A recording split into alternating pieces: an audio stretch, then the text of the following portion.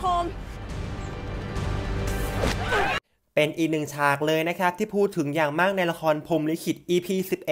เมื่อสามสาว แม่แก้ว แม่ปางและแม่พุตตานเนี่ยเปิดศึกกับไอ้ขามผัวเก่าของอึ่ง ที่ตามมาราวีกลางตลาด โดยทั้งสามสาวนะครับได้โชว์ skill บู๊สุดนักเลงอย่างดุเดือด feel เพื่อนหญิงพลังหญิงสุดๆ ในขณะเดียวกันนะครับ ถ้าใครได้ดู EP 11 เนี่ย ต้องให้ความสนใจกับประโยคที่ว่า ไอ้ไข่เสียใต้โคม ที่แม่ปางตวาดใส่ไอ้ขามนั้น มันมีความหมายว่าอะไร เพราะทำเอาไอ้ขามฟังแล้วปีแตกเลยทีเดียว ซึ่งล่าสุดนะครับ ลอมแพงผู้แต่งนิยายพรหมลิขิตเนี่ย ก็ได้มาตอบคำถามแฟนๆ เกี่ยวกับเรื่องนี้แล้ว หลังมีคนไปคอมเมนต์ถามว่า ไข่เสียไตโคมแปลว่าอะไรหรอคะ โดยลอมแพงเนี่ยตอบกลับว่า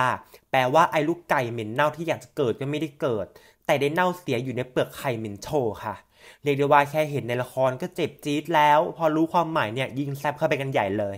บอกเลยนะครับ ฉากที่แม่ปางแม่แก้วและแม่พุตานต่อสู้กับไอ้ขามเนี่ยโคตรมัน